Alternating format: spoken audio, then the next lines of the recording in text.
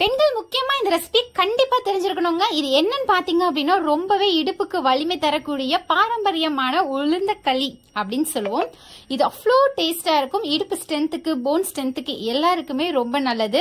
இதை தாராளமா நம்ம வீட்லயே ரெடி பண்ணலாம். அதுவும் பாரம்பரிய முறைப்படி. எப்படின்னு பார்க்கலாமா? இதுக்கு நான் உடைச்ச கருப்பு உளுந்து வந்து வாங்கியிருக்கேங்க. நான் வந்து ஒரு கப் எடுத்திருக்கேன். நீங்க இதுக்கு பதிலாக வெள்ளை உளுந்தும் ரெடி பண்ணலாம். வெள்ளை உளுந்துலையும் நீங்க இதை ட்ரை பண்ணலாம். இல்ல முழு கருப்பு உளுந்துலையும் நீங்க வந்து இதை ரெடி பண்ணலாம். நான் இங்க வந்து உடைச்ச உளுந்துக்கு வந்து கருப்பு உளுந்து வாங்கியிருக்கேன். ஒரு அரை கப் வந்து சேர்த்திருக்கேன். இது வெறும் சட்டியில் நம்ம வந்து வறுத்து எடுத்துக்க போறோம். அடுப்பை வந்து ஹை ஃபிளேம்ல வச்சு வறுக்காதீங்க. இல்லைன்னா ஒரு மாதிரி கருப்பாகவும் இருக்கும். டேஸ்ட் வந்து நல்லா இருக்காது. ஒரு மாதிரி கருகுன மாதிரி இருக்கும். லோவில் வச்சு இல்லைன்னா ஐ டூ மீடியம் ஃபிளேம்ல வச்சு ரோஸ்ட் பண்ணி எடுத்துக்கணும். இது பார்த்தீங்க அப்படின்னா லைட் ஒரு ப்ரௌன் கலரில் வரணுங்க. அந்த அளவுக்கு ரோஸ்ட் பண்ணி எடுத்துக்கலாம். இது கூட நம்ம சேர்க்க போறது ரெண்டாவது இன்கிரியண்டா பாத்தீங்க அப்படின்னா பச்சை அரிசி அப்படின்னு சொல்லுவோம். இங்க நான் வந்து நார்மல் பச்சரிசி தான் எடுத்திருக்கேன். நீங்க பொன்னி பச்சரிசி மாவு பச்சரிசி இல்ல உடச்ச நுய் அரிசி அந்த மாதிரி நீங்க எந்த அரிசி வேணாலும் எடுத்துக்கலாம். கால் கப்பு வந்து போதுமானதுங்க. நம்ம வறுத்து எடுத்திருக்க கூட அந்த பயிர் கூடையே வந்து இதையும் வந்து வறுத்து எடுத்துக்கலாம். லைட்டா வறுத்துக்கோங்க. இது கூட ஒரு அஞ்சு ஏலக்காய் வந்து நான் சேர்த்திருக்கேன். ஏலக்காவே நீங்க வறுத்துக்கிட்டீங்க அப்படின்னா வாசனை ரொம்ப நல்லா இருக்குங்க. ஸோ இது எப்படி நல்லா வந்து வறுப்பட்டுருச்சு அப்படின்னு தெரிஞ்சுக்கணும்னா இந்த மாதிரி லைட் ப்ரௌன் கலரில் வந்து நமக்கு கிடைக்கும். ஸோ இந்த மாதிரி ஒரு தட்டில் போட்டு பரப்பி நல்லா ஆற விட்டுக்கலாம். கொஞ்சம் நேரம் வந்து ஆறட்டும். நல்லா சூடு இப்போ ஆறிடுச்சு. இதை வந்து நான் ஒரு மிக்சி ஜாரில் சேர்த்து அரைச்சி எடுத்துக்க போகிறேன் நல்ல மாவை அரைப்படுறதுக்காக நான் சின்ன மிக்சி ஜார் தாங்க எடுத்திருக்கேன். நீங்க பெரிய மிக்சி ஜார் இருந்தாலும் அரைச்சிக்கலாம். மாவு மில்ல கூட நீங்க கொடுத்து அரைச்சிக்கலாம். ஸோ இப்போ நான் வந்து சின்ன மிக்சி ஜாரா எடுத்திருக்கனால கொஞ்சமா சேர்த்து தான் அரைச்சி எடுத்துக்க போறேன். ஒரு ரெண்டு பேட்சா அரைச்சி எடுத்துக்கலாம் அப்படின்னு சொல்லிட்டு கொஞ்சோண்டு மட்டும் இப்போ சேர்த்து நான் நல்லா அரைச்சி எடுத்துக்கிறேங்க.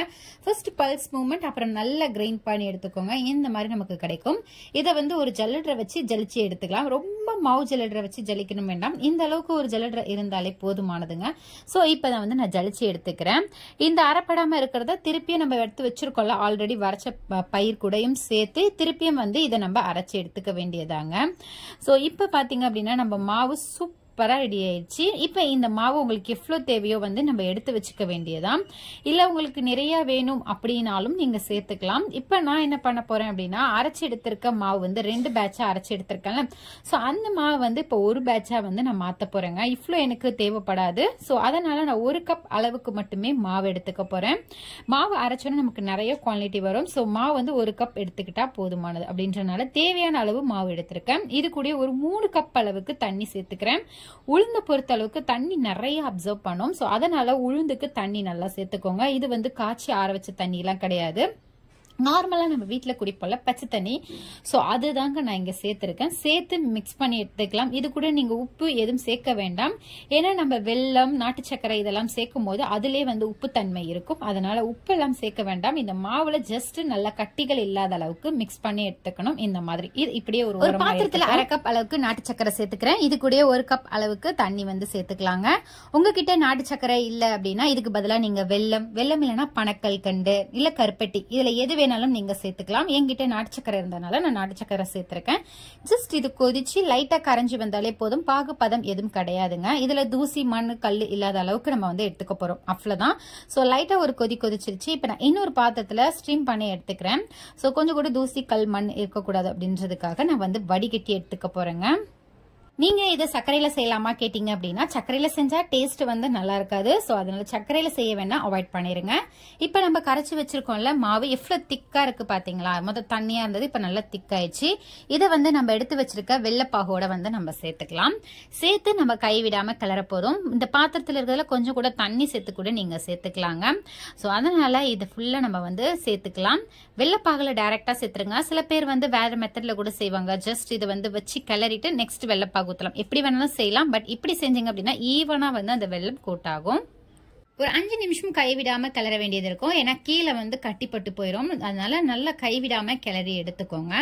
இருக்க இருக்க பார்த்தீங்க அப்படின்னா இது நல்லா இறுகிக்கிட்டே வந்துருங்க. அதனால முடிஞ்ச அளவுக்கு ஸ்டவல்லோ அல்லது ஐ ஃப்ளேம் வைக்காம மீடியம் ஃப்ளேம்ல வச்சு கிளறிக்கிட்டே இருக்க வேண்டியதான் ஸோ கொஞ்ச நேரத்தில் பார்த்தீங்கன்னா நல்ல திக்கான பதத்தில் வந்துருச்சு. மாவும் நல்லா ஸ்மூத்தாக வந்து உங்களுக்கு ஸ்ட்ரக்சர் வந்து தெரியும். இப்போ பார்த்தீங்கன்னா இது பதம் கிடையாது. இந்த டைம்ல வந்து நம்ம நல்லெண்ணெய் சேர்க்கக்கூடாதுங்க. இன்னுமே இது கெட்டி இருக்கு. அதனால கல்ல வந்து கரண்டியாலே வந்து மசிச்சு விட்டுறேன். மசிக்கிறது ஒன்றும் இல்லை. ஜஸ்ட் ஒரு அழுத்தம் கொடுத்தோம் அப்படின்னா ஈவனாக வந்து மிக்ஸ் ஆயிருங்க. ஸோ இப்போ இது இருக்க இருக்க நல்லா திக் திக்கான பதம் வரணும். அந்த அளவுக்கு வந்து இதை மிக்ஸ் பண்ணிக்கலாம். இதோடைய பதம் எப்படி இருக்கணும் அப்படின்னா நல்லா இறுகி வரணும். நான் உங்களுக்கு காட்டுறேன். ஸோ இன்னும் ஒரு அஞ்சு நிமிஷம் இதை நம்ம மிக்ஸ் பண்ண வேண்டியது இருக்கு. இந்த அளவுக்கு நல்லா மிக்ஸ் ஆனோன்னே நான் ஒரு அரை கப் அளவுக்கு எண்ணெய் எடுத்திருக்கேன்.